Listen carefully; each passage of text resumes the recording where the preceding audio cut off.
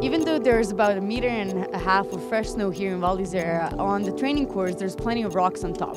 So what these guys are doing are they making sure that the edges are completely clear and clean and they're sharp.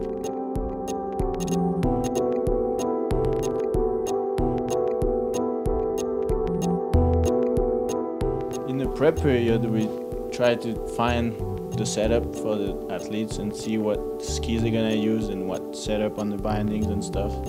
Try to find which one they like the best and decide what they're gonna race on.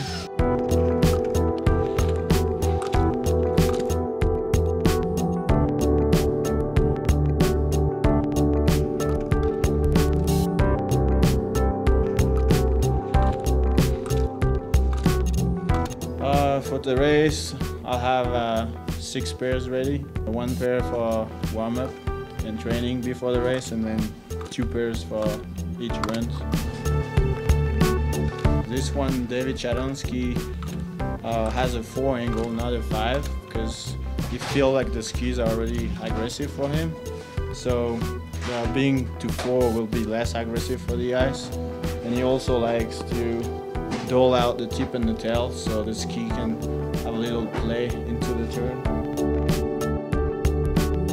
So then it's just the tuning part, so edges and waxing and get the skis ready for them to go fast.